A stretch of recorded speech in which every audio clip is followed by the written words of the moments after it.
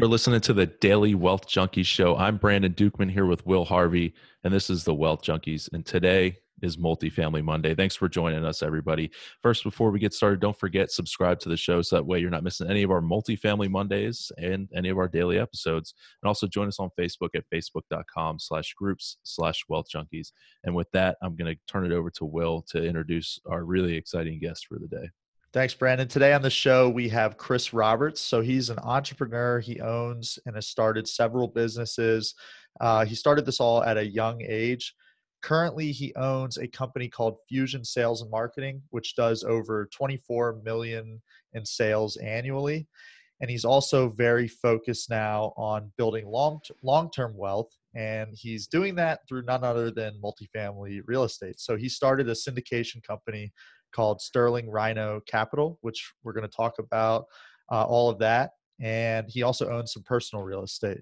So, with that, Chris, you got an awesome background. I'm really excited to dive into it. Thanks so much for coming on our show. Can you just give the listeners a little bit more about your background and how you got to where you are today?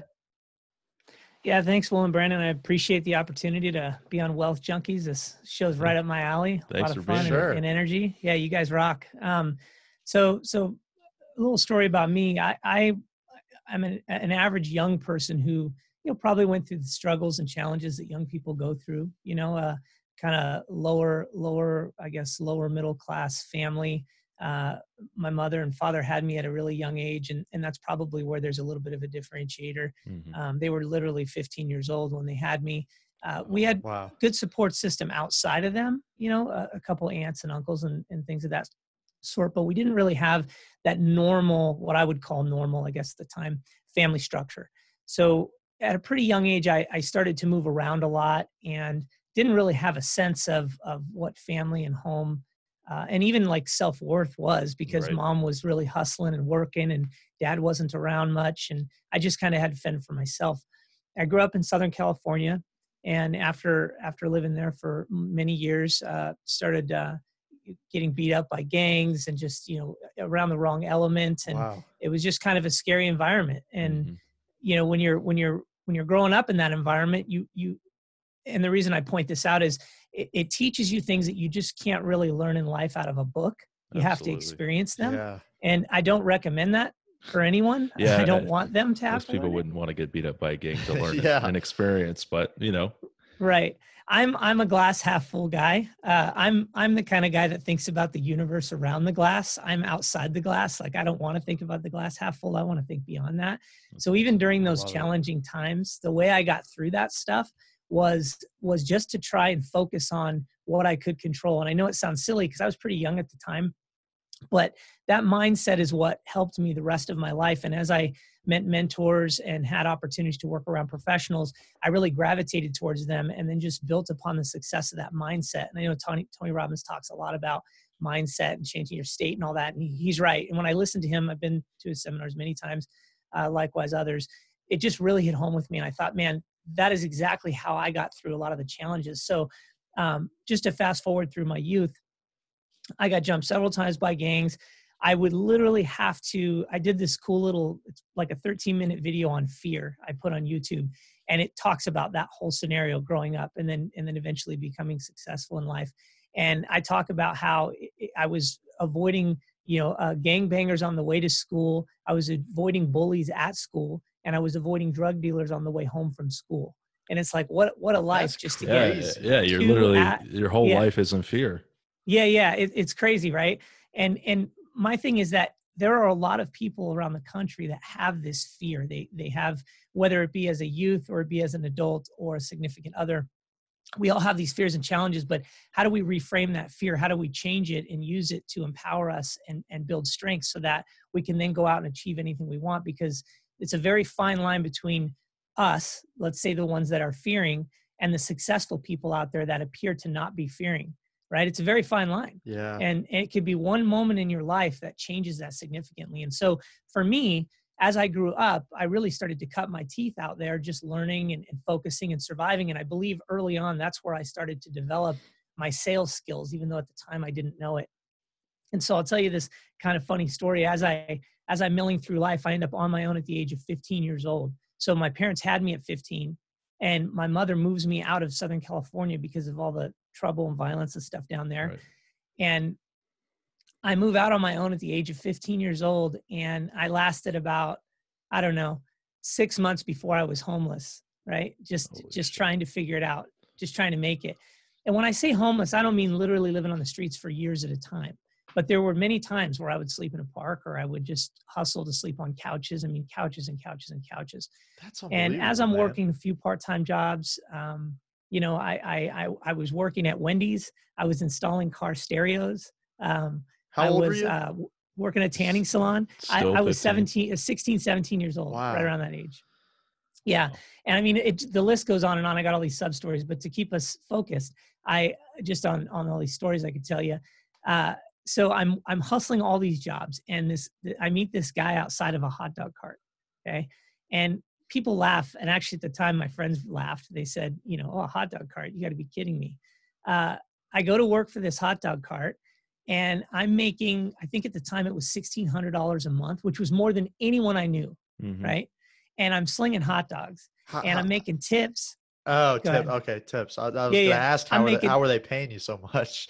Yeah. Yeah. Well, they were paying me, they were paying me a salary. I was working six days a week and I was working like, you know, eight, nine, ten hours a day, depending on the time frame. So I worked a lot of hours, Yeah. but it was a salary. So it was really good money, six days a week. wow. and then I was getting tips, right? And so here's where the story kind of starts to get a little interesting and how I start to really develop my entrepreneurial spirit. As I'm hustling, this guy approaches me, and, and I tell this story throughout my life with people. Um, he comes up and he says, "You know, um, you know, are you happy here?" I said, "Well, yeah, man, I'm, I'm I'm fine. I'm wearing an apron. I got sunglasses on. Everything's good, right? I'm a hot dog guy. Like, of course, why wouldn't I be happy?" And uh, he says, "I got to have a guy like you in my organization." And I'll fast forward through it. Basically, he says, um, "You know, I've been searching for people to work in my new organization forever."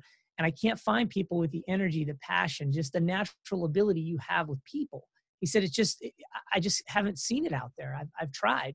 And I really need a guy like you to come work for me and, and I can teach you. I can teach you how to do spreadsheets. I can teach you how to be a manager, supervisor, whatever. But but I can't teach that natural ability, that attitude, that energy that you have. It just draws me in. And I'm like, well, what are you selling knives door to door, man? Like, who are you? Like, Right. what are you talking about? I'm a hot dog guy. Like, you want to hire me? Are you kidding me? Like, what do you want to hire me for? That's hilarious. what I hadn't realized at the time, man, yeah, is that is that it was that energy and that attitude, that enthusiasm that drew him in, and and that would that would serve me well later in life. So at the time, I thought maybe he was just door to door salesman. He he he asked me what I need to make. Oh yeah, back and forth. I thought I'd never see him again. Uh, two days later, he comes back and he offers me what I wanted plus you know benefits and other things. So I leave there and I go work for him. Well, this guy ends up being the most key figure of my entire life. He he's my mentor. He teaches me. He gives me books how to win friends and influence people.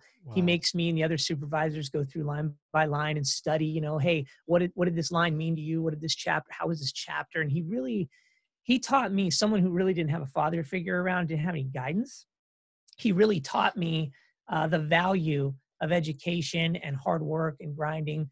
And uh, and then just to fast forward a little bit more, I worked for him sometimes sometimes over 100 hours a week out at his properties. I would work at his he had a fun center. I would work at his fun center. I'd work at his properties. I worked more hours than i thought my body was physically able to work. And and that guy completely changed my life. As a matter of fact i forwarded the book to him and his wife thanking them for what they did for me That's and really completely cool. changing my life. That is Uh, awesome. yeah and then we'll, we can just leave there and i can take off on some other So, topic I- I but have a that's quick- that's where i am about 18 Quick, kind of unrelated question: Did he buy Sure. a hot dog from you the first time he met you? uh, oh yeah yeah Okay. nice. yeah and, and let me let me just side little caveat. So what's funny is this owner owned two hot dog carts and he made very good money at these hot dog carts. He was an entrepreneur as well and he had these these sausage dogs. The guy would drive like five hours to get these things. People love them i am not kidding you. We'd have 50 people lined up out in front of a gi joe's at the time which is like a you know outdoor store store to eat a hot dog and you're like that's crazy but they did they did Wow. That's And- wild. Yeah. And it's Yeah. pro- partially because you were the guy selling them too, right? i don't know man maybe yeah. i got nice tips that was great yeah. That's good stuff. That's awesome. Yeah. So yeah, that no, that's and that's all. But you're 18 at this point, right? Yeah, I'm 18 at this Okay. time. That's Okay. incredible. So you get you get started. That that's incredible that you were just able to have that opportunity come up. And I think it's, uh, we, we, we were talking to somebody recently and they were just talking about how a lot of times in an entrepreneur's journey, there's a lot of luck involved, but that luck is because you put yourself out there and you put you know you set yourself up for that opportunity and and then it just happened so it sounds like you did get a little bit lucky with that but i'm sure it's because you were the way that you were you had your background and that's what got you to to where you are with the people skills and and all that and like the guy said that's un, unteachable or uncoachable yeah and well, i'll tell you i'll tell you one little yeah. nugget as it relates to that comment you just made is I didn't know it at the time, but the only thing I had, and there's so much more to my backstory, but the only thing I had that I could control was who I wanted to be. You know, right. who I envisioned who I who I would be. Not not who people thought I was or how they looked at how I had no money. I worked at a hot dog cart. I mean, I, I let me tell you this. I lived in a house at that time, okay, with a with a with a guy who I've never done a drug in my entire life. I'm just against it. I've never done it, never tried anything. But this gentleman that I was living with at the time, I found out was on drugs, right? And we lived in a two bedroom house that was falling apart. It was a $400 a month house that had a hole in the bathroom floor. You could see through the floor. Wow. We had mold around the fireplace. It was cold. We had no heat. It was a horrible environment. And I'm working at a hot dog cart. I mean, it was it was not a good situation, man. Right. But my attitude was though I was living on the hill and and what's ironic is is i didn't know that at the time but that's what got me this opportunity with this mentor who completely changed my life that's and cool. my success yeah and then actually shortly thereafter working for him i bought, i rented the house on the hill moved my family in and we were all on our way. It was great. Very no cool. kidding. but that, that is cool. you know that shows that's that's like one of the only things that can't be taken away from you is yeah. is your attitude and, and, your mindset towards your perception. Yeah your perception. I mean you, you know you can have your house taken away from you. You can have you know people you care about everything like that and you know you're by yourself but uh, your attitude and perception is definitely one of those things that you like you said it's the only thing that you could control and i think that's absolutely. Huge. yeah that that's so good. So where what going forward from there once you got started with that guy at his company what was the progression after that? Yeah so he he mentored me through the process taught me a lot about being a supervisor and, and building forms and spreadsheets and just a little bit of under, understanding a little bit about of accounting and things of that sort.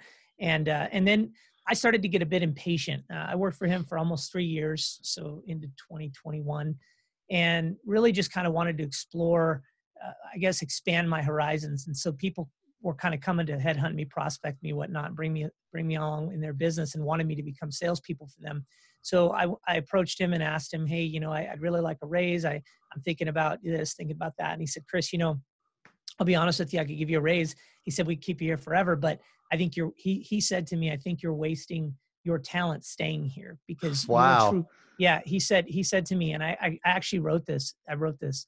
He said, um, you're wasting your time because I think your true calling is becoming a sales professional and that's no crazy kidding. to me because to me he was like a father figure right i, I thought mm. what are you talking about like i thought i'd be here forever and he said look as much as it'd be hard for me to let you go and for you to go and whatnot trust me when i say that i think there's some great things out there for you if you just take the chance and just pursue it and so he had the foresight to see that in me, which was just amazing. And he did when he hired me, which again is just, it's that crazy divine intervention. You're like, how did this guy come into my life? Right. He knew all the right times to say the right things. That's amazing. And, yeah. And he pushed me out and I struggled. At first, this company I went to didn't do what they said they were going to do. I, I didn't make a lot of money. I was working a bunch of part time jobs again, and I, I struggled. I mean, you know, I think people oftentimes will tell these great success stories, and they don't tell you that you do get kicked in the teeth a lot you know but but you have to have the attitude that that's just part of the deal being kicked in the teeth right. should be just natural and then you push yourself back up and get and get going again right so i go out and I, I pursue other sales careers and eventually land on my feet in a furniture store and that's really where my my sales career elevated and, and really went went to the moon um, i got in with a furniture store started selling uh, I have some really funny stories about when I first started and stumbled along. Again, it was just sheer will, just like being at the hot dog cart, just reading anything I could get my hands on, watching all the really good salespeople and trying to understand what is it that makes them successful. What are the, what are the exact words they say? How do they close a deal? What does that mean?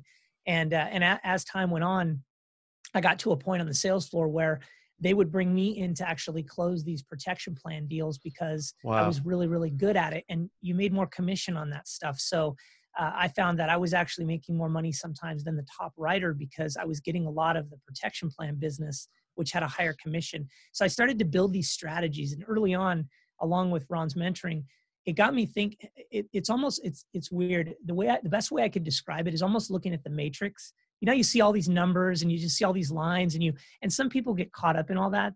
Uh, stephen covey calls it getting caught up in, in the thick of thin things. You know you just get you Mm. get bogged down by stuff. Hmm for some reason i could just see i could see things in the sales world and i could get through the bs and i could just really focus on what i needed to do to earn someone's business and just understand what they were looking for and quickly get there so that i could get to the next customer. And that's how i really excelled my sales career Do you think that's a natural skill set or do you think that's teachable? I think it's teachable to a certain extent. Someone has to be open to learn. And what I mean by that is, is I train thousands of salespeople all the time. I mean, I, I train lots of them. Some of them I've taken from very poor sales to extremely good sales. And then others I've taken to, to good sales, great sales, and then they drop off. And, and you ask them the question, why did you drop off? Right. You have the ability. Like, what happened? Well, I forgot, or I got lazy, or I just I didn't ask, or I whatever, right? So, as much as someone may have it in them, do they have it in them to, first? Do they have it in them? If they do, you can teach them almost anything, but can they hold on to it? Can they sustain it? That's the key, and that's that's the key in entrepreneurship and success in it. general, right?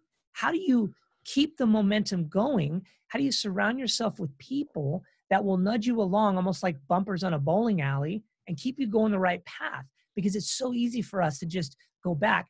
One last little nugget on that. And again, I think it was Tony Robbins. He probably took this from someone else, but they talk about how we were born to survive and not to succeed.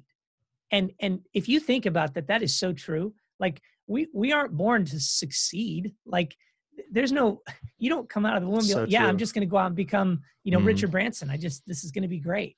No, you you kind of come out and you go, Well, I gotta eat. I, I I need to have some shelter, gotta have some clothes, and you know, that's okay. Oh, that guy's got a nice, that girl's got a nice car or something. Maybe I'll get one of those or whatever. There's there's Yeah, not a lot of natural ambition in people. Maslow's Right. hierarchy, yeah. Yeah. Yeah. That's that's that's really good. Uh, Yeah. So so after uh, Brandon, you were about to say something. No, I, I was just I, I'm listen. I love hearing this. This is just this is awesome. So yeah, that's uh, good stuff. kind of kind of talk to us a little bit how you got into the real estate world and and you said you rented out the the house on the hill there so i'm sure Yeah. Yeah. you know you know going from the $400 rent house to to living on the house on the hill kind of maybe inspired you a Yeah, little let's bit keep to- the keep the progression going. I love this story. yeah man no let me tell you so so here's another thing um throughout life and i mean when i was young i would borrow clothes from friends that had nice clothes because i didn't have them and and i wanted to be like that right? I wanted to i wanted people to look at me like i had nice things and that that i was worthy of whether it be their friendship or hanging out or whatever. So throughout my life i was always trying to create it wasn't a facade because i had it in me like i was a good person right? But but but people didn't look at you that way when you were young right? They, they were so judgmental and they you know i mean i got made fun of i got picked on because i was fat i was ugly i was whatever right so so i had to kind of create this hey i'm not that guy you know i'm this guy so as i started growing in life and i and i, I got this job with this guy who opened my eyes to all this opportunity and i and i ended up renting this house on the hill i thought "Man, why can't i own a house on the hill so I asked the may the mayor actually owned that house, and I asked him, "Is there anything I can do to fix this house up? Help you on the weekend? Anything I can do to earn maybe a way to buy this house someday?" And he actually offered me that opportunity. Now this is not a, a, fairy tale story. I didn't buy this house, but I was fixing the walls for him. I was doing all these things. And then he came to me one day and said, "Chris, uh, you know, I want to sell you this house." He said, "This house is worth it was say one hundred and seventy five thousand. It was a beautiful house on Main Street on the hill." Okay he said but you're going to have to come up with $20000 because i'm going to sell it to you for it was it was $120000 he's going to sell it to me well under market value wealthy older guy had a lot of property and here here was the reality check so i go down there with my mom we didn't have the credit we, we didn't have uh, we didn't have the wherewithal we didn't have $20000 how on earth were we going to do anything i got this house that's below market value and at the time i just didn't have the resources i didn't have the people around me I didn't have the heart to go and beg or ask my boss the time or whatever. so I missed the opportunity, but it was actually a learning opportunity, right? Because I realized, wow, you you know, you have to have something in life. You have to have a couple bucks put away because opportunities will come your way. And if you don't have anything, you're not going to be ready to take advantage of those opportunities. And I'll tell you a story in a few minutes about how I actually later on did take advantage of another opportunity that was incredible. Um, but that was a lesson for me and i really really wanted to buy that house but it just inspired me it didn't it didn't push me back or push me down or deter me and what i found is because early in life i had nowhere to go but up like Mhm. literally nowhere to go but up everywhere i looked around everyone was above me that's the way i felt at least right, Right. i mean Yeah. I, I was like where else am i going to go you know um, so for me i was inspired by people's success now and i mean that today when i meet an entrepreneur who's wealthy or has a bunch of stuff I am genuinely interested and I love hearing their stories. I love that they're successful. I love it- that they that's have, why we're doing this show Yeah, so we exactly. can we can you know Yeah, if it yeah. doesn't inspire anybody else it inspires me so you know Yeah, to- no, totally right. It's like, hey man, if someone's got a billion dollars, that's awesome. Some people look at him and say, well, you're just a rich, wealthy billionaire. No, but you know what? Every billionaire, most, most billionaires, millionaires, they're charitable, right? Right. You know, guys, I spent a ton of money getting my book launched. I will never make money on that book. That book had nothing to do with making money. Mm-hmm. right? That book had to do with making a difference and, and enriching people's lives and telling the story and, and, and building some hope in people and all that. A lot of people out there that have money or have done things, it's because they care. They're out there trying to build a, a, a future for their family. They're giving Right. back to charities you'll never hear about. And so I think that's the that's the misnomer out there is like at least for me, yeah, I've had some success. I'm I'm not really technically wealthy. I mean, I guess uh, technically I'm rich if you want to look at statistics or whatever, whatever that means, right? These days. right But but that doesn't mean anything to me. All it means is I got a roof over my head. I'm extremely thankful, extremely grateful. And now I have the opportunity in life to give back. And I am very passionate about that, mentoring people, you know, helping young people, awesome. inspiring. Yeah. Anyone could call me anytime. My clients call me at 10 o'clock, 11 o'clock on a Sunday, and they're going to get me Wow. and and we will we will i will help them with their issues their problems one of my mentor uh, students i don't charge i just have a handful of mentor students i help they call me on a random time i know they need me i answer the phone or i call right back Yeah. because that's what got me here today was was listening to people constantly and being there for them so That's that's so I cool. love that, that. that that whole men finding those mentors is just crucial for you know somebody young starting out and and I know it was for me and I would not be anywhere near where I am today and I have a lot to go. I don't think it think I've reached uh, really anything yet, but uh, with with that said, where I am today would would would not have happened without having those mentors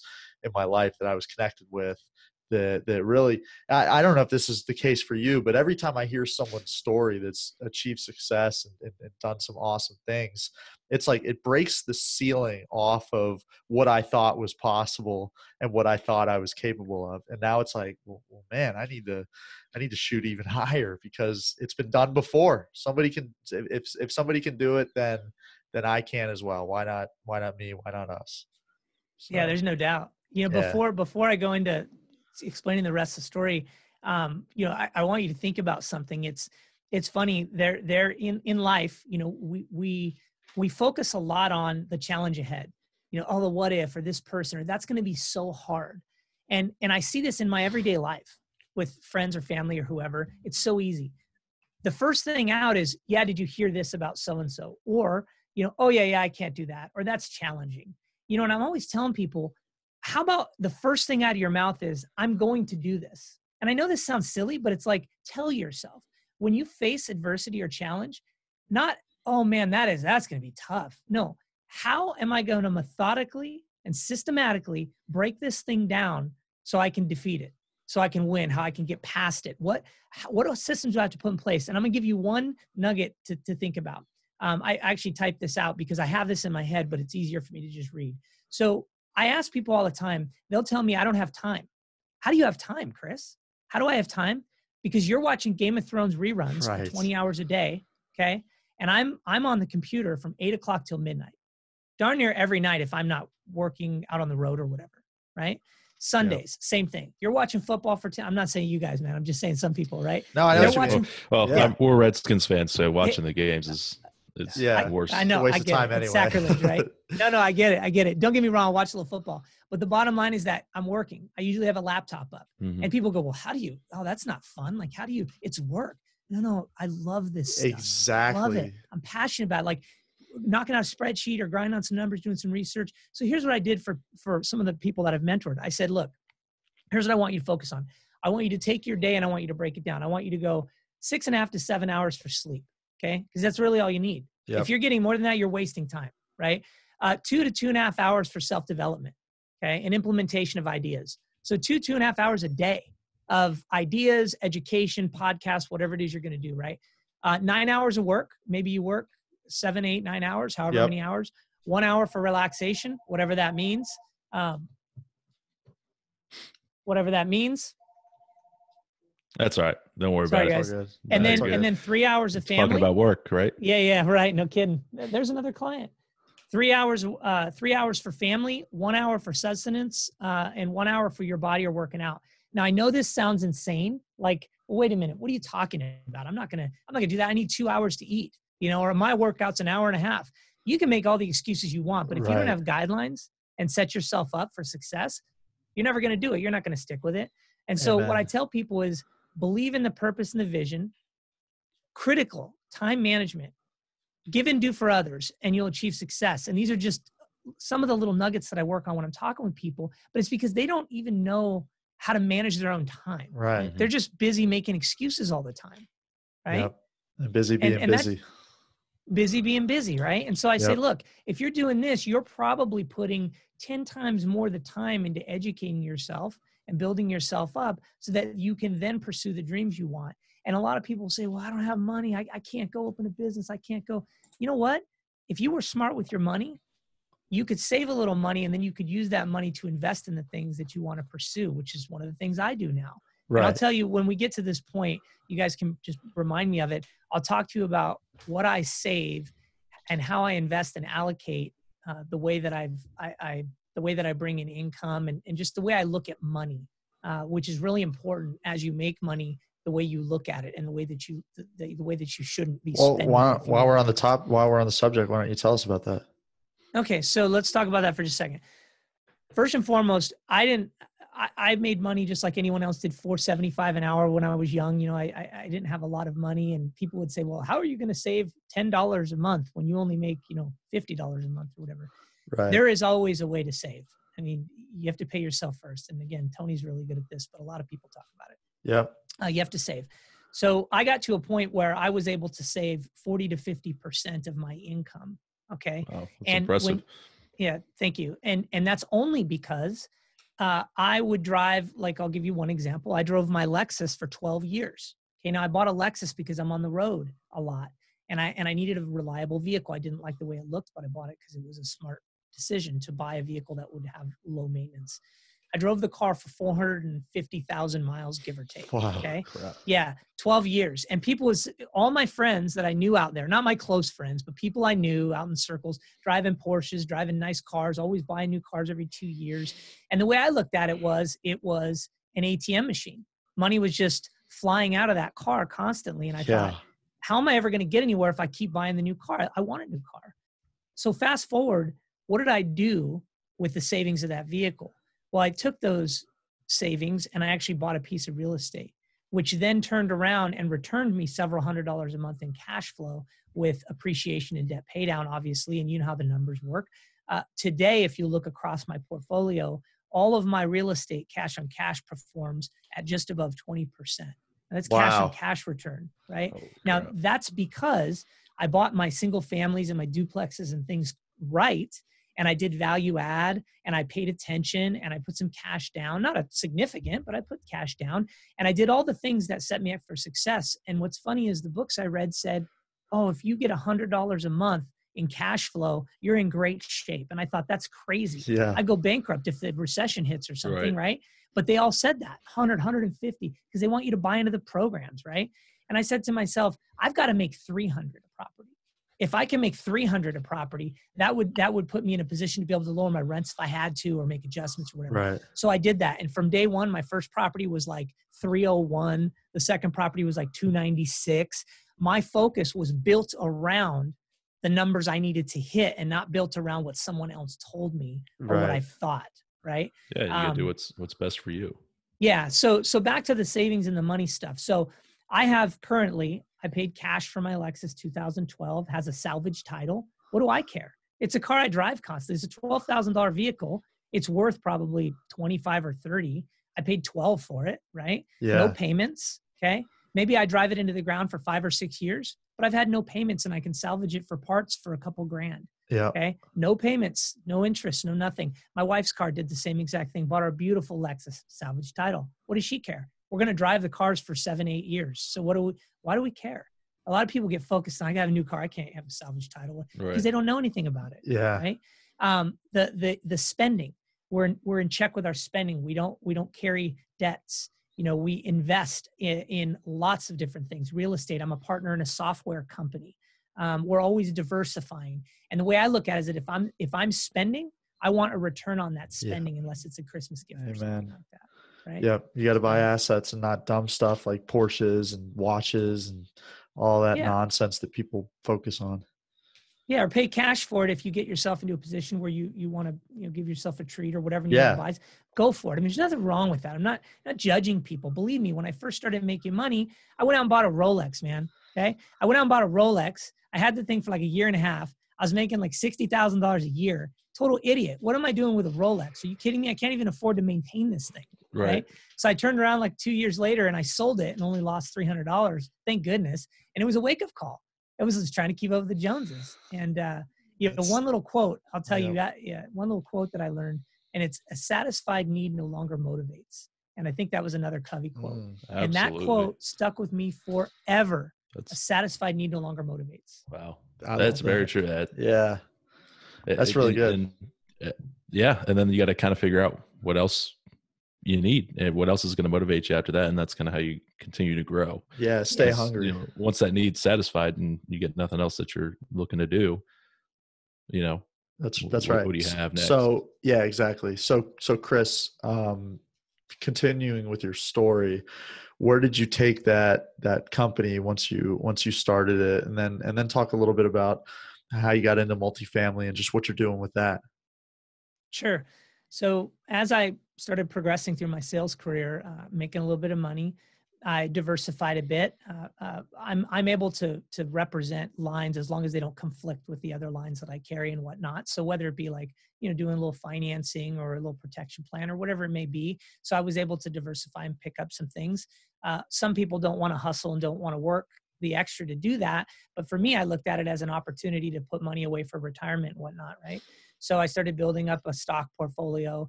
And at that time, I, I owned my own primary residence, but hadn't really gotten into real estate. And sat down with a friend that was a real estate guy, and we had this conversation on a napkin in a, in a Las Vegas restaurant at a convention. And he was pitching me on real estate and the concepts of cash flow and all of that. And I'm talking to him about stocks. And what was really funny is by the time we were done, I folded up the napkin, I put it in my pocket, and I told him I'm going to buy my first property in the next six months. And he's like, "That's great, right?" I got home, I bought five real estate books. I read those three, those five real estate books in about three months, and by the fourth month, I had I had my first property under contract. Wow. And it was an yeah, it was an REO. It was a you know bank flip type of thing, and it was a fix up, you know whatever. I I bought it for ninety nine thousand dollars. Okay, Wow. and to, to not get too much into the weeds on the real estate part by reading the books and analyzing the spreadsheets and putting together my own I, I, I touched on it a little bit with the 300 a month thing i figured exactly what i out exactly what i needed to do to be successful in this business and if i could execute my plan i could succeed and sure enough that first property i did and we we i think my tax mortgage insurance on that property was like $578 okay because I put 20,000 down. I did some renovations and I rented that house for like $1,100 a month. Okay? Wow. So even after CapEx and all that Mhm. stuff. So that was my first taste. And I was like, this is crazy. I, I can't believe I, I wasn't doing this before. Right. Yeah. And so then I went and right down the road, I bought another REO for a hundred. Uh, was, first one was 99. I think second one was a hundred within thousand dollars. Bought another one, did the same thing. And, and the way I was able to do it, by the way, that, fir- that first one was Lexus money. I had saved all my payments. So as I owned that Lexus, I Ah, kept saving those payments, right? So then I took that 50,000, 25,000 in renovation foundation, 25,000 down. And then I was able to sell that house a few years later for like $170,000. So I made a nice profit plus all the cash flow off of it. Yeah. Then I multiplied that, multiplied that, multiplied that. So I kept getting into the single families and I would do it on part time. So I'm gonna tell you, it's funny. People will say to me, Well, how do you do all this? How do you work? How do you have all these businesses? I would go to my job during the day, eight o'clock to three o'clock, four o'clock, five o'clock in the afternoon, depends on what, happened, what was going on. I would have my trailer behind my Lexus with all my tools in it. I would drive out to the property from say five o'clock to 10 o'clock at night, and I would work on the property. And then I would come wow. home, park my trailer, take a shower, get up in the morning, do my reports, and I would go do it again. And I did that for six weeks on my first property, right? Yeah. Along with some temp people. And they're like, well, did, did you have construction experience? No, I had YouTube. Yeah. I didn't have construction That's experience. Funny. Yeah. I mean, seriously. It's and so, so age, you can learn anything. Just, but if you don't try, if you don't go in there and fail and stumble and hurt your finger yeah. and like maybe hire some people that know and it takes an army to have success. It's not just you, but you are the pinnacle. You're the one, the spearheading the concept. If you aren't leading, right, like a general and out there hustling and trying, people aren't going to follow you. And That's if right. and if you are, then people are going to go, "What is that guy doing over there? Oh, real estate? What you know?" And so now, like for me, I love sharing any of this stuff with people because it teaches me as well as as I'm as I'm teaching, I'm learning as well, and and uh, and you're building relationships and things like that. And so, fast forward to real estate, I I, I did several of those. Um, I once bought a property. Uh, again, this was that opportunity. I had been saving. Family member approached me. Uh, a family uh, or a good friend of hers had a property that was uh, in the rears on taxes, and all she wanted was her taxes back. But you had to pay cash for it, right? And get this, guys, I bought a house at the time that was worth at least sight unseen probably 120 125,000 I bought it for $50,000 wow. And but but this was the cool part. As the economy's grown in about 3 years that 50,000 turned into 270,000 on, on just that property okay that's incredible now, yeah and all I did is put flooring in and a roof so it was maybe like $12,000 or whatever that's unbelievable yeah, but if you didn't save and you didn't put yourself in the position and you weren't right. telling people what you do, nobody, you know, nobody would have even forwarded the opportunity to me. Um, so that's uh, exactly uh, right. Yeah, and if you weren't set up, like you missed that opportunity early on in your career because mm-hmm. you just didn't have the, um, you didn't have the capacity to close on it, and sounds like you don't have that problem anymore. No, I'm yeah. good. I'm yeah, good. yeah, but that's I, great. I also sacrifice, man. Like I don't roll around in Ferraris, right? And, you know, and yeah. And no offense, but I just I well, want to put my stuff in assets, man. I love yeah. it. Everybody's vision of, uh, or not everybody. That's a blanket statement, but a lot of a lot of people, um, their their vision of rich people that are rich and wealthy and all that is nice cars and watches and bling bling and you see those guys that sell those courses and seminars and all that crap and they're getting out of their Rolls Royce and they're it's probably rented it's probably not theirs and you know they're they're kind of pitching that whole private jet and, and all that stuff because yeah. that's what sells what doesn't sure. sell is saying you need to buy assets because that's yeah that's and, and and to me and it sounds like it is for you too that that's so fun to me to be able to create yeah i know it's like people ask me my hobbies i'm like i don't know i don't really have any I, yeah yeah so, this is yeah. it man yeah i exactly. have hobbies but i i'm so excited about all of this business stuff that i don't right. have time to go scuba dive or go right. golf or go do whatever i've got all the stuff in my garage but i, I really i can't spend time out there yep. as one last thing i want to say based on your comment was one of my favorite things to do I, I love drawing the potential out of people. And again, I don't sell seminars, man. So I'm not like trying to get up here and say, well, buy my program because I'm going to make you great. I really though love talking to someone. I just did this the other day. Um, I'm I'm part of the Michael Blank program. He's he's an awesome person, and yeah. I, am part of his program, right? And so we, I, somebody called me that was looking into his program, and they were asking me, Chris, this, Chris, that. What you know, what what, what should I do? Should I? And I was telling them, I, I said it's not even about the program. It's about do you have it in you to execute? Mm-hmm, Are you right. going to get up every day and dedicate the time? Are you going to analyze the deals? Are you going to network with people? Well, uh, he says I can't. I can't network because I, you know, my job, and I, you know, I don't want people to know that I'm I'm doing this thing. I said, what are you talking about? Like, yeah. I mean, you're not you're not jumping on top of the Empire State Building and like screaming from the top of your lungs like I'm a real estate investor. And even if you did, who cares? You're progressing in your life, but don't right. don't you keep putting these limiting beliefs in front of you. You're never going to put your foot forward. Right. So start focusing on your abilities and tell yourself, I will do it, I can do it. Otherwise, don't even waste your time. Don't sign up for anyone's program. Right. Because if you're not going to put in the work, you're not going to get there. And believe me, you're exactly right. You hit the nail on the head. You said, you know, oh, these guys, you know, they see these cars, they see these jets, they see this, they see that. You know, I don't care if it's Tony Robbins, Grant Cardone, Bill, get any of these people. A lot of these people never graduated high school. Right. They didn't have college degrees. They were not born with success. Jim Carrey was hum- was homeless. I mean, what an amazing comedian, right? He was yeah. homeless, man. And and there's a lot of people like that, right? So I tell people, quit focusing on all the doubting and understand that most of the successful people in the world, even if they are driving a Bentley, were probably broke, possibly homeless, definitely struggled, possibly depressed. So once you get your head wrapped around all of that, let's go. Yeah. Let's let's move forward and let's rock right. and roll because no we're all excuses. capable. Yeah, exactly. Yeah, yeah. I love exactly. it. God, I could listen yep. all day. Well, so, so yeah. Yeah, tell. Talk, I was going to say talk about multifamily. I'm sure that's what you were going to say, Brandon. yeah, yeah. Talk, uh, you got into the Michael Blank program. Talk to us about what made you choose that, and and and kind of why you're gearing towards multifamily. Sure, sure. Uh, so I knew that the natural progression for me would be to scale up, whether it was going to be in commercial triple net type properties or going to be in the multifamily space, and I just wasn't quite sure when, how things are fine in my single family space and my businesses and and I keep all the balls in the air just fine. Uh, but but I, it, there was this burning thing inside me that was kind of saying, you know, this is hard work. I mean, even though I manage people, I have other people that do stuff for me now. You know, they'll go and they'll fix a property, they'll go do this stuff. It's still a grind, and it's you know it's stressful. It's in the back of your mind. And I started researching, and I, am I'm, I'm a contributor technically on BiggerPockets. I, I blogged, posted once on there, uh, and I want to put more on there. It's just time, right? And I, I, I got a lot of information from Brandon and all those guys. He's actually from my neck of the woods over here in Washington, and um, started hearing more about the multifamily. I actually heard Michael Blank on uh, one of the podcasts, and was intrigued by just his attitude and how much he was willing to give. He just really seemed like he was willing to offer a lot of information to people for free while a lot of people were selling constantly. Now not that he's not selling he's got things to sell. That's how he makes a living right? But but he's offering a lot more than he's selling if that makes sense. Yep. and yep. so so i'll tell you this and you, you you may not even believe this. I so i was i was listening to him.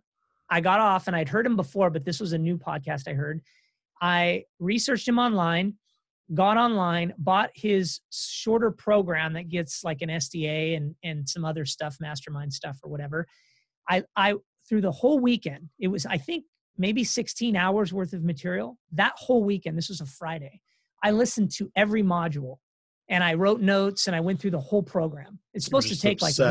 like weeks. Yeah. Obsessed. I'm like, I've got to learn all of this, just like wow. I did with the real estate books, right? I had I was going on vacation that next week and I flew out to go on vacation. And I had talked to one of his mentor folks right before I left. I just reached out on LinkedIn, got a hold of him, asked him a few questions. He said, You know, we have this event that's going on out here. You should just check it out. It's really actually an event that goes through the SDA and stuff. It's not a selling event, really. It's just teaches you how to use the tools. I diverted my business flight that was going out there. So that next weekend after I landed, I flew out to that event. And then that next Monday, I drove to my business meeting, right? Which was on the other side of the country, hmm. okay? Mm. Seattle all the way over to DC. I signed up shortly thereafter for the mentor program because I wanted to bring someone alongside me to assist me in doing our our bigger deals right not that i couldn't have done it on my own i was I, I, had the confidence but i wanted that extra security just that little extra here's a bunch of people that have done it they've got all this experience um, and and and uh, and it, it's it, it's kind of like a bigger part of a team versus just i'm just going to go it alone and maybe it takes two years we could get this done faster. Now i'll tell you shortly thereafter i built my social media platforms the websites all this stuff and actually landed a deal. It's you know we're under contract but we're not we're not offering yet uh, for 112 units as a result of the networking and the grinding. This was not a direct result full disclosure of the mentor program this was a result of the networking through Michael Blank's networking program. That's Right? amazing. Yeah, I mean that's a he's he's great. first deal. Yeah, yeah, Yeah. exactly. So so I got together with a group of people that were really out of his other programs and we got to talking and I, I'm still on board with the program. I'm in the mentor program and I love it and the mentors are great. But but um but it was through my grit and constant communication with people and Yeah. just getting myself out there on Zoom calls and talking with Stuart and just, you know, trying to get out there that all of a sudden people start noticing, wait, this guy's a little different. He's not Mhm. just somebody who sits on here for three years and throws one line out there. I want to add value, add value. So, so let me ask you this: You said it wasn't a direct um, result of the mentoring program, but have you brought this deal to your mentor to to basically reassure you that this is a deal that you should be in on? Well, I, I did not bring it to him to say, is this the deal I should be- in on? Mhm. I had made the decision. I was I in. was in. Um, what I did do though, because now I have that available to me, which is exactly why I signed up, was the was was to be able to bounce those things off. So yes, now I'm I'm having these conversations. Hey, what do you think about this? What do you Right. think about that? And we have a sponsor and we have a team. I mean, combined the five of us have almost 3000 units that we either own or are on or are invested in so we're, we're a capable team Right. of single family multifamily syndicated deals i mean we all but yes absolutely so now where the rubber meets the road for the mentor program for me anyways is now that we've got this thing moving to have that support and that structure and all of that so it's all good again i just don't want to i don't want to sell somebody on something because they got to make their own decisions I Mhm. just wanted people to know that it's not just having a program. It's the work ethic behind the program Yeah, that's going to make you successful, right? That's it. You can lead a what is it? You can lead a horse to the stream, but you can't make him drink. That's the Yeah, yeah. That's that's really absolutely. cool. I Yeah. So it.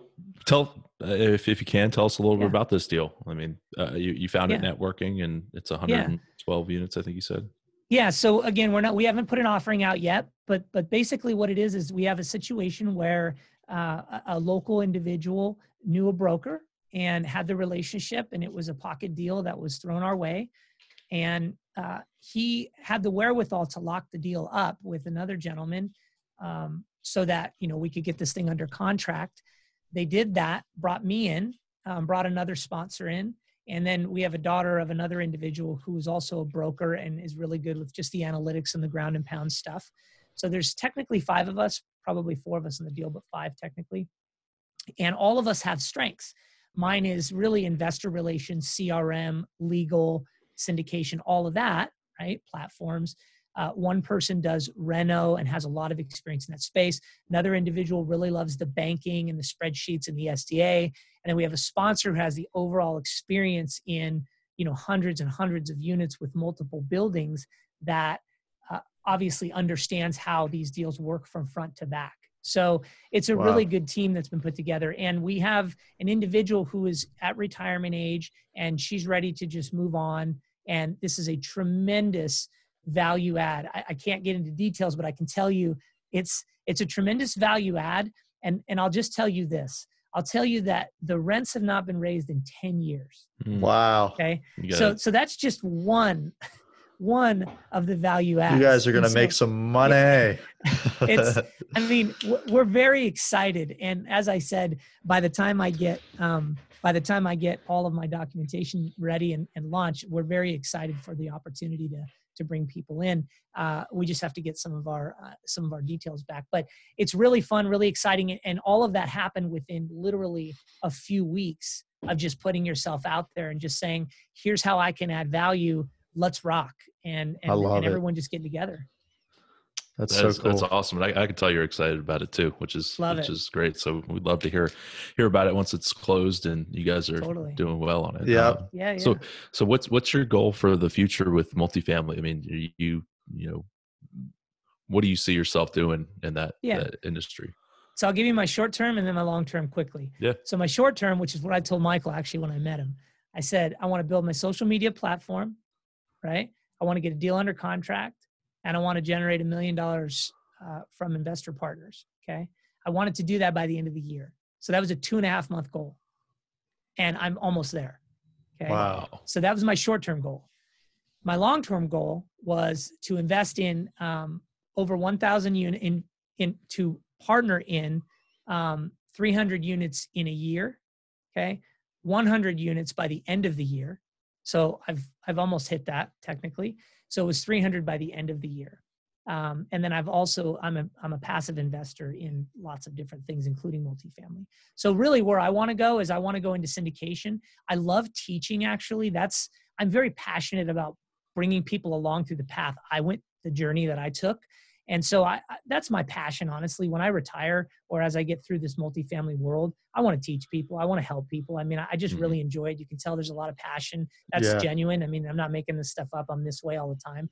Uh, and, and, so that's that's my long-term goal is to teach people and to and to you know hold thousands of units just so I can you know give back and and have financial freedom and such. I love it. That's awesome. So uh, usually we do this towards the end, but I think you know your story is is pretty intriguing. So talk to us about your book a little bit, where we can get your book and uh, and all that. And that you said it, all the proceeds go to charity. So what sure. what charity is it going to? Sure. So the book is uh, "You've Earned It: How I Refused Anything Less Than Success, and You Can Too." And the book was written to help young people to get through a lot of the challenges that I went through and just to show them that there is a path to success. You just have to believe and you have to understand that all these little things that happen to you throughout life are just tiny little moments and that your life is so much bigger. So I wrote this the story uh, kind of really to help those people. But then I start telling the story of building a sales career and real estate and success and saving money and i give tips and tricks and things on how you can do that so it is a catch-all for anybody but that's the book you can get it on amazon I have it in audiobook. I, I actually really, really like the audiobook. The narrator, it wasn't me, uh, did a really good job on the audiobook. We have a Spanish version in ebook, regular ebook, awesome. and then paperback. Yeah. It'll run you That's cool. three bucks for ebook and 12 bucks for paperback. And 100% indefinitely goes to charity. So from day one, we've given all the proceeds to charity. I partnered with Feeding America as an enterprise partner where every dollar I donate through the book sales, Tony Robbins will then match every dollar, right? So our money's wow. going twice as far. Right. Yeah. Right. And then last month, um, I'm on there, I think permanently, uh, but last month they added me to the national website for Feeding America under partners, where it says um, why I give. So it's my story with my picture and then a bunch of detail on why I give back and all of that. And so we've really partnered with Feeding America. It's just been amazing. That's awesome. Yeah, I think we fed fifty-two thousand people so far. So that's amazing. I love that's that. That's incredible. Yeah, I, yeah, and I'm going to buy the book and make sure that you know, eh, make sure you get your copy too. So you know, even if you don't read it. Yep. You know, you're helping somebody out, so that's awesome. Give it to a young person. It's yeah, PG, uh, I swear. Absolutely. well, Chris, eh, I, I, could listen to this all day. To be honest with you, I mean, it, get so many questions to ask, but for the sake of time, we'll, we'll jump into our moments of truth. It's sure. the same seven questions that we ask all of our guests. And the first one here who's your success role model? Uh, well, my success role model is my direct success role model, which is Ron Norgan. He's that individual who took the time to to help me in life, and and just, I mean, really nobody paid attention to me. He's the only person that just saw an opportunity to to help me be successful and, and took that time. Um, if I was to look at some of these other role models out there, I would say it'd probably be somebody like a Tony Robbins. There's there's a lot of them out there, but I would say probably like a Tony Robbins, who is not just a business person, but also understands the psychology behind what can help you to be successful, changing your state and all of that. I've been to four of his events, um, and uh, he's definitely inspired me and actually helped me save a lot of money throughout the years. So, so yeah, nice. probably Tony Robbins and my personal mentor, Ron. That's great. What is your biggest success? You know my biggest success honestly is is the day i got married to my wife. And the reason i say that is because i told myself i would never get married. You know i i, I don't have. I have still tell myself that. Yeah. Yeah i told myself i'd never get married and I, I don't have a really tight family structure. I love my family but i'm not really tight because we moved around so much. And so the the reason for that is my wife uh the special person she is really helped ground me and and and keep me on the right path when I was is was in a position in life where I could have really gotten derailed. Started making a little money and just she yeah. really helped ground me and teach me the value of education. Matter of fact, I went back because of her and got my GED and, and took a college course and like she has a master's degree and just she really changed my life for the positive. So um, there are obviously lots of things I could say, but but truthfully, the, the shift in my life, the most positive, was was the day I got married to her. That's really cool.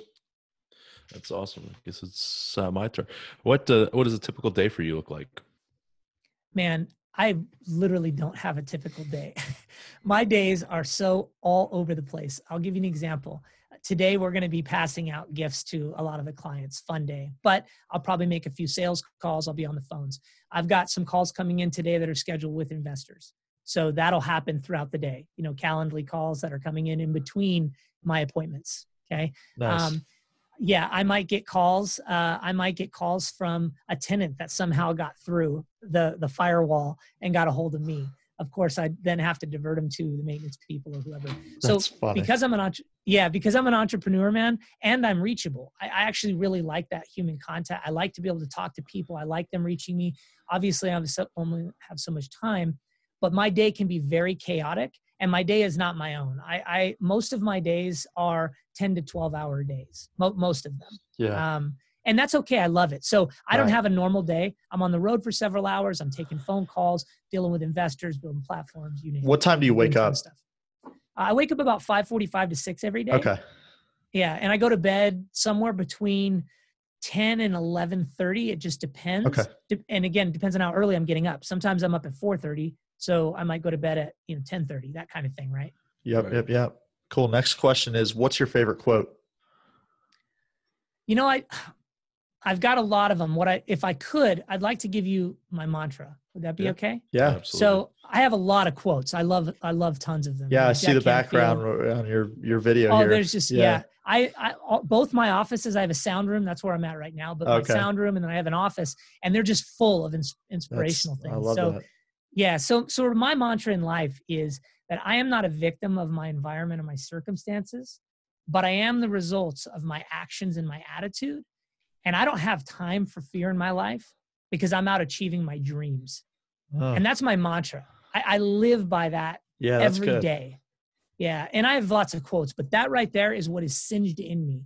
Yeah. I love that. Yeah. and That's I, really it, good. it it te- I can tell that that's what's in you based off of you know, hear it listening to you talk and and your Right. just your attitude about everything, which is which is great.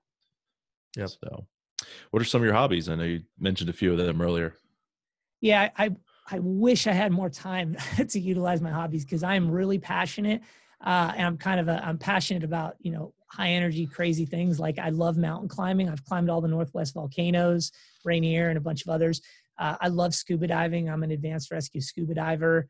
I love golf, uh, but I haven't golfed in two years. I haven't scuba dove in like five months. I haven't mountain climbed in two years. Uh, and part of that is because I am, it's hard to explain, but there is something that has ticked in me or clicked in me or turned on in this multifamily space, in this entrepreneurial space, that I just have this desire inside to just create. And, and so the social media platforms, the websites, all the things I've been doing lately, all of my free time has gone into that seven days a week after I after I do my primary businesses, right? Um, you know, selling furniture, doing different things like Yep. that. So um, someday I'll get back to those hobbies, but they're sitting there collecting dust for now. Got it.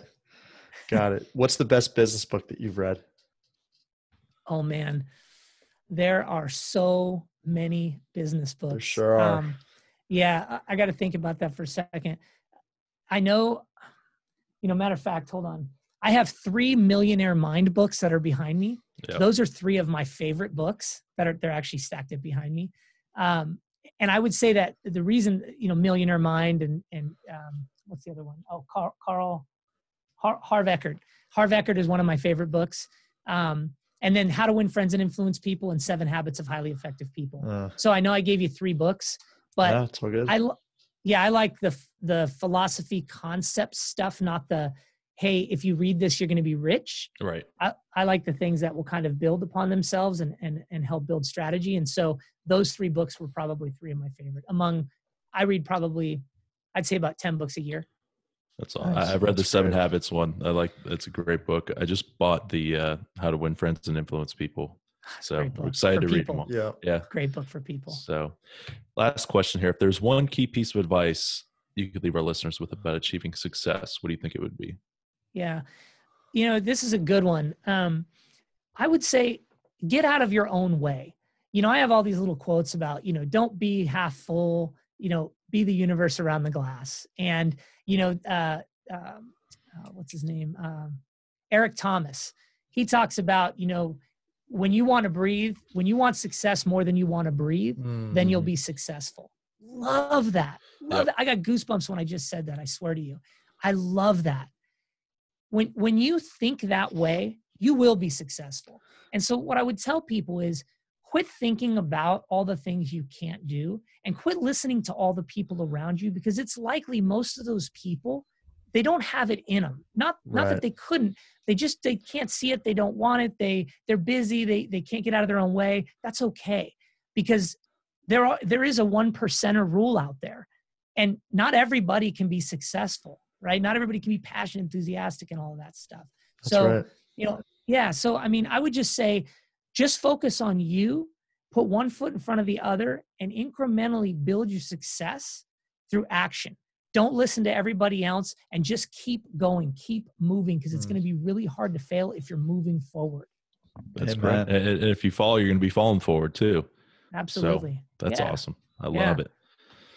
Well chris this has been this has been great. Uh, and like i said i think we can we could talk to you for hours but how, how can our listeners get in contact with you uh, you can reach me at sterlingrhinocapital.com that's my website for my syndications um, you can reach me at Chris D. Roberts, which is the website for the book, or you can find me on LinkedIn. LinkedIn's a good way. If you get on there and you want to reach out, I'll, I'll respond back to you. I'm, I'm very active on social media, um, but those are some of the places you can reach me. Absolutely. I love it. Well, for our listeners, make sure to go out buy his book. It's called "You've Earned It." Find it on Amazon. Like you said, all the proceeds are going to charity. That's awesome. And uh, connect with uh, connect with Chris. And if you get any questions about multifamily or, or any investment opportunities, Chris is your guy for for Multifamily Monday. Again, Chris, we appreciate you being on the show today. Well, and Brandon, I really appreciate it. Thanks for the opportunity to tell my story. I hope I've inspired a few people today, and you guys have a great day, man. Yeah, thank you. Thanks, Chris.